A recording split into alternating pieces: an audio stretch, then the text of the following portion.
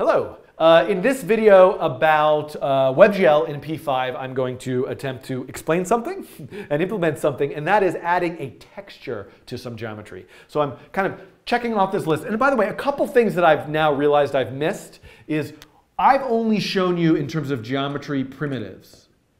And there are some other ways, right? In theory, I, I, think this might be at the time of recording of this video a little bit buggy because I've been doing some experiments with it. There's no reason why I couldn't use begin shape and end shape to create custom geometry, right? To create my own algorithmic 3D shape in WebGL. So um, that's certainly something that should be on the horizon for P5. And in addition to that, I could also use a function called load model so if anyone wants to make like a nice model of a train or something, send it to me. Maybe I'll make a video that loads. And, uh, and I think typically there's probably a bunch of different file formats of 3D models, but certainly one that I believe works with um, P5 as an OBJ. So if you're making a 3D model in some other 3D authoring software and you export it as an OBJ file, you could import it. So, but what I want to focus on here is texturing. And what texturing is, is instead of simply having a material, this sort of, that is just a color or, an, or a certain kind of reflective continuous surface, that you can actually take an image, something that you load, and it could be a live video, recorded video, or a static image, and wrap that image around the particular shape, whether it's a sphere, a torus, a box, a plane, etc. So I want to look at that texturing an image. So let's go look at how we do that.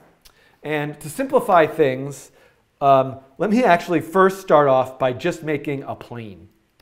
So I'm actually going to make a plane. A plane is a geometry that's just a, um, a flat plane, and I can give it a width and a height.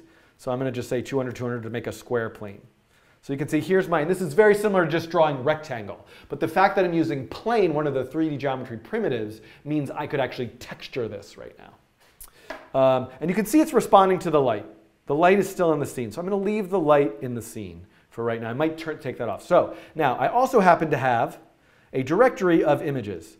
I don't know. Does anybody have a favorite kitten they want to see right now? I think, I, let's just go with kitten zero. It's cute kitten zero. Okay, kitten zero is going to be our texture. So what I'm going to add now is uh, I'm going to add preload. Preload is a function in P5 that allows you to load data assets, media assets, other things that are ready before setup and draw happen. So I'm going to make a variable called kitten. And then in, in preload, I'm going to say kitten equals load image. And I had a directory called kittens. And I had a file called kitten.0.jpg, kitten0.jpg. And now what I'm going to do here is I'm going to comment out the material, and I'm just going to say texture kitten. And the magic will happen. We're going to see our kitten. Oh, interesting. So the kitten is like, so interesting. Look at the image itself is responding to the light. So one thing I want to do right now, just to simplify things, because I I don't want to worry too much about light, is I'm just going to create ambient white light and take out this directional light that I worked on in the previous video, just to simplify things. And so now we can see, there's our kitten. Ah, it's spitting off as like in the end of Superman 3, which is a movie that I seem to reference way too often in my videos. Um, General Zod the kitten. Okay, um, so what else can we do? Let's just try some other shapes. Why not? Let's try box. Now we have, oh, and let's make the box a little smaller. Now we have that kitten image on all sides of the box. Let's try sphere. Now we have this. Now here we're seeing something that's now happening. So P5 in the WebGL renderer is making a decision.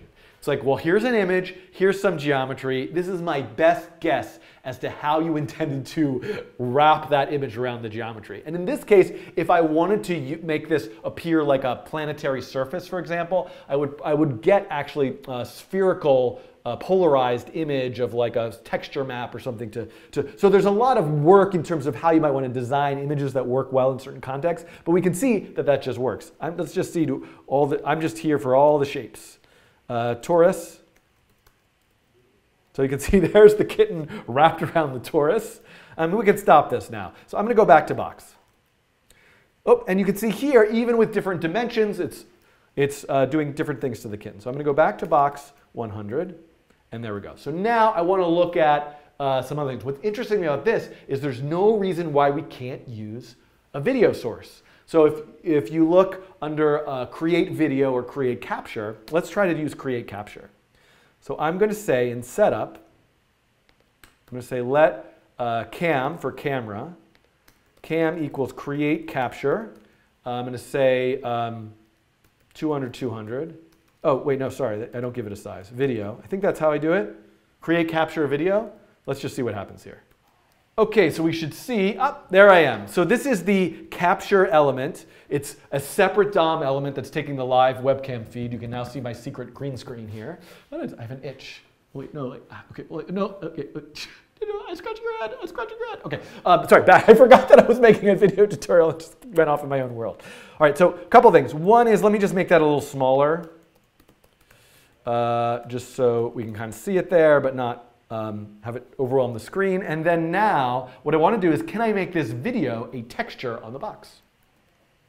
So I don't see any reason why I couldn't just change this from kitten to cam. There I am. Oh, oh, I could do my Superman 3 thing now. Please, just humor me. Just humor me. Turn off this video, go to something else. I'm going to do this for my own personal enjoyment.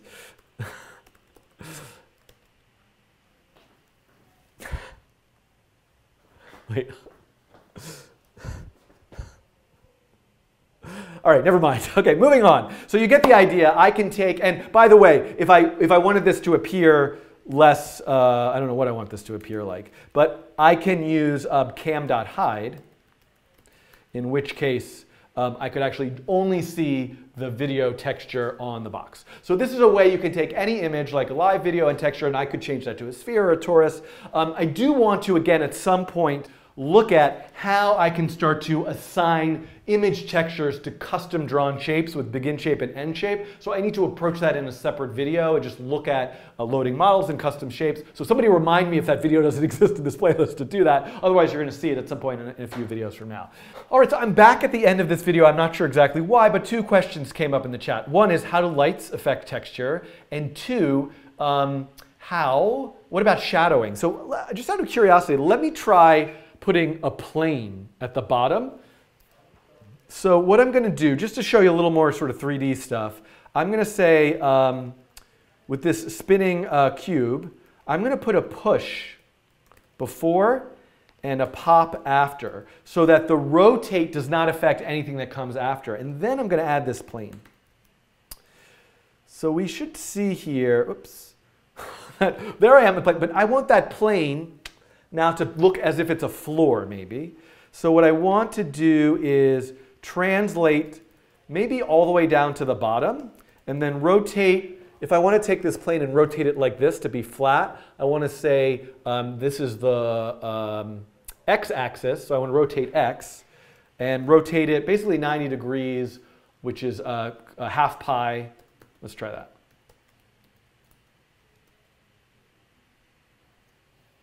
So you can see there it is. Now I don't want, what I want to do also is maybe only translate it 100 down, make the plane like really, really big, and maybe I want to give that a uh, ambient material so it doesn't have a texture of white. Is that going to override the texture? Whoa, bugginess. Okay, great. So we can see now that there's like this floor. Making it white made it a little confusing, but let's, um, Let's make the background, let's make it, uh, that's fine. So what I want to do is let me try to add some light. There's an ambient white light right now. Let's take out that ambient light. And you can see the floor, it's not buggy, it just takes a little while for the video to start. The floor is now black. But it does have an ambient material of white. So let's try adding this directional light. So I, this is a directional light that I did in the previous video, which just uh, shines a light from far away at a given direction based on the mouse. Um, and I'm going to make, let's make that light white. Just to, and I, am going to just give it, I, I might be able to give it just 255, but I'm going to give it all three. Let's give that a look. So you can see now, look, that light is shining and it's only able to see the sides of the, the cube where the light is. And you can see there's a, there is shadowing going on based on the light now. The thing is, the shadowing, I, I probably have to be more thoughtful about the positioning of these objects uh, in order to get the shadowing to work in a way where I might actually see. So I'm going to leave it to you as an exercise to try seeing what you can do with point lights and ambient lights and different shapes to see if you can get shadowing. But you can see sort of the stuff that you've got to play with here. Um, and uh, um, in terms of having a light that's shining into the scene with different shapes, with different materials and different textures. Okay, thanks for watching.